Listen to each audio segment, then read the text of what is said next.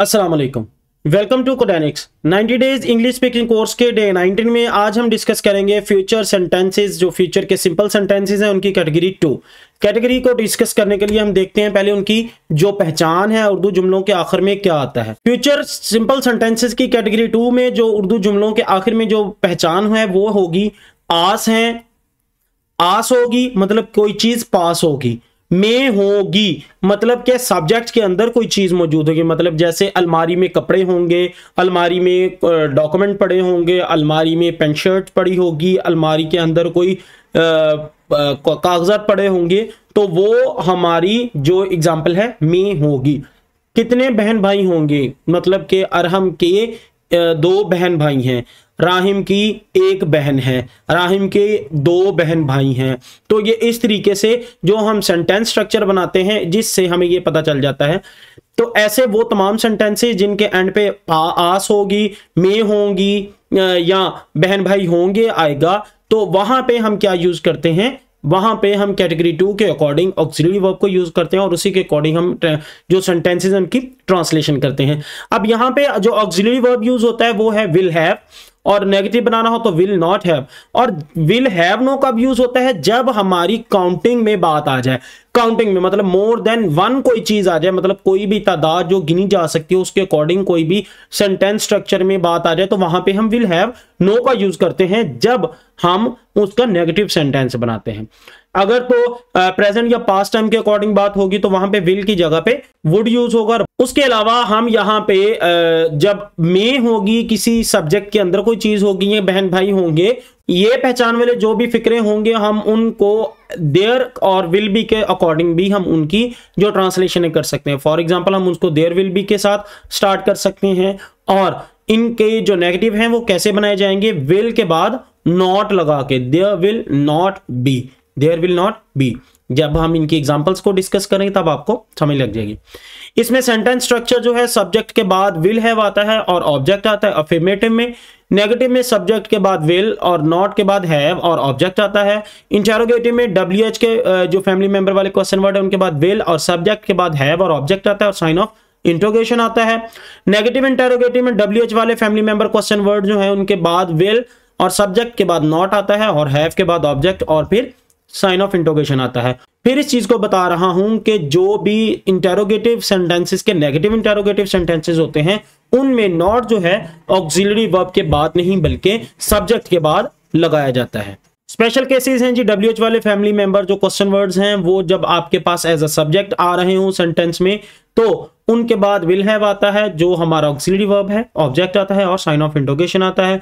और जब हमने इसका नेगेटिव इंटेरोगेटिव बनाना है तो विल के बाद नॉट यूज़ होता है और हैव प्लस ऑब्जेक्ट यूज़ होता है और साइन ऑफ़ इंटोगेशन एग्जाम्पल्स हैं जी इसकी। अगले साल उसके पास कार होगी। नेक्स्ट ईयर कमिंग टाइम में किसी के पास कोई चीज़ होगी।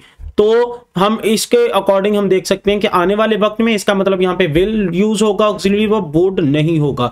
तो वुड के साथ हैव ए कॉम्बिनेशन है इसमें फ्यूचर की सिंपल सेंटेंसेस की कैटेगरी टू में। तो इसकी ट्रांसलेशन क्या होगी? He will have a car next year he will have a car next year उसके पास लैपटॉप होगा। उसके पास लैपटॉप होगा मतलब उसके पास पहले से मौजूद होगा मतलब पास्ट टेंस के पास्ट टाइम को डिस्कस किया जा रहा है। इसका मतलब यहाँ पे विल नहीं क्या यूज़ होगा? वुड यूज़ होगा। He would have a laptop उसके पास लैपटॉप होगा। जाओ और ले के आओ। जाओ और लेके आओ। गो जाओ एंड और ब्रिंग लेके आओ। He would have a laptop go and bring जाओ और लेके आओ। आज मेरे पास पैसे नहीं है, पर एक दिन मेरे पास इतना पैसा होगा कि मैं घर खरीद सकूँगा। यहाँ पे गा की मिसिंग है। घर खरीद सकूँगा। इसका मतलब यह है कि आज मेरे पास पैसे नहीं है। आज प्रेजेंट टाइम की बात कर रहे हैं। इसका मतलब ये एक लंबा सेंटेंस है। आज मेरे पास पैसे नहीं है, लेकिन एक दिन मेरे पास पैसे होंगे कि मैं घर खरीद सकूँगा। तो इसको हम किस तरीके से ट्रांसलेट करते हैं? देखते हैं। टुडे आज आई डोंट हैव मनी मेरे पास पैसे नहीं है। बट लेकिन वन डे एक दिन I will have so much money मेरे पास इतना पैसा होगा दैट के I could buy a house I could buy a house यहाँ पे कैन नहीं यूज़ होता। जब आप फ्यूचर टाइम में कुछ करने का सोच रहे हैं तो उस वक्त कैन की जगह पे कुड यूज़ होता है। Today I don't have money but one day I will have so much money that I could buy a house that I could buy a house अगले महीने हमारे पास घर नहीं होगा। ये है एग्ज़ाम्पल मतलब कोई रेंट के घर पे रह रहा है तो उसका जो रेंटल पीरियड है वो ख़त्म होने वाला है। तो वो क्या बता रहा है कि next month we will not have house हमारे पास घर नहीं होगा।